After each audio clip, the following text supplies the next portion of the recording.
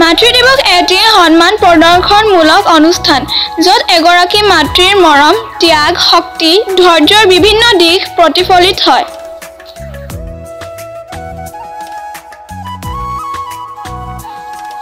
মাতৃসকলে সমাজলৈ আগবঢ়োৱা অৱদানৰ কথা সুঁৱৰি মাতৃসকলৰ সমানাৰ্থে মাতৃ দিৱস পালন কৰা হয়।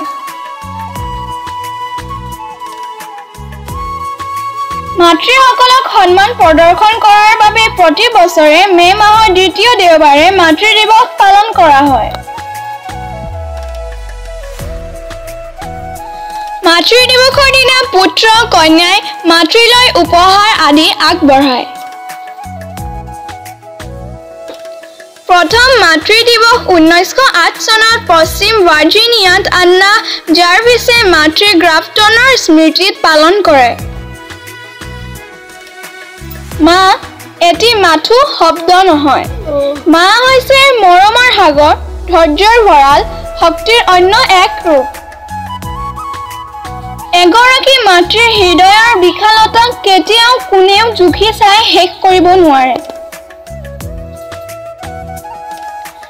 এগৰাকী মাতৃৰ বাবে জীৱনৰ আটাইতকৈ মূল্যৱান উপহাৰটিয়েই হৈছে তেওঁৰ সন্তান। মাতৃৰ মৰম ত্যাগ শক্তি ধৈৰ্যক বছৰত এদিন পতা এটা অনুষ্ঠানৰ মাজেদি জুখি চোৱাটো কেতিয়াও সম্ভৱ নহয়।